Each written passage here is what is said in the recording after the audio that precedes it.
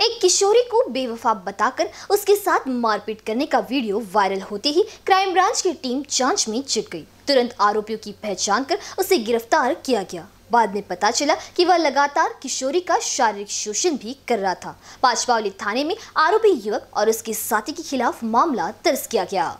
पकड़े गए आरोपियों में बंगाली पंचायत निवासी समीर खान, सलीम खान और यशोधरा नगर निवासी मोहम्मद शकीन, मोहम्मद सिद्दीकी का समावेश है। पुलिस ने 17 वर्षीय पीड़िता की शिकायत पर मामला दर्ज किया है।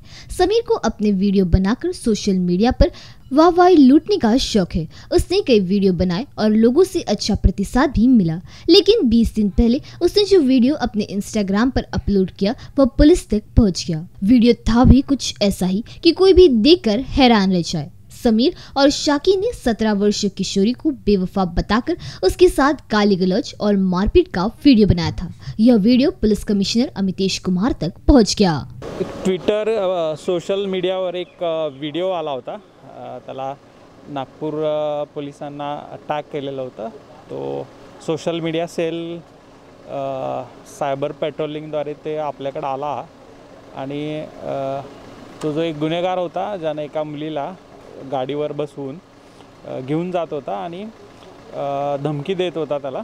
तर अशी ती व्हिडिओ क्लिप होती. त्यानंतर त्याचा शोध घेतला क्राईम ब्रँच युनिट तीनद्वारे आणि त्यांनी त्या आरोपीला आणलं त्या पीडित मुलीला आणलं.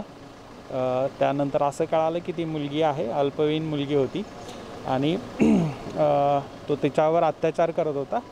त्वरित तिची फिर्याद घेऊन गुन्हा दाखल झालेला आहे पाचपावलीला आणि त्या आरोपीला पण त्वरित अरेस्ट केलेला आहे. उन्होंने क्राइम ब्रांच को कार्रवाई के निर्देश दिए।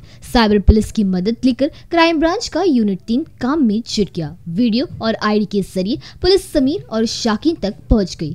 इसके बाद किशोरी से पूछताछ की गई। बताया जाता है कि दो वर्ष पहले सोशल मीडिया के ज़रिए ही किशोरी की दोस्ती समीर से हुई थी। समीर ने उसे अपने प्रेम जाल में फंसाया। शादी का झांसा देकर समय समय पर उसके साथ दुष्कर्म किया। किशोरी का अन्य युवकों के साथ बातचीत करना उसे पसंद नहीं था।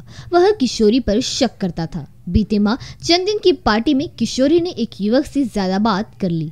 इस वजह से समीर चिड़ गया।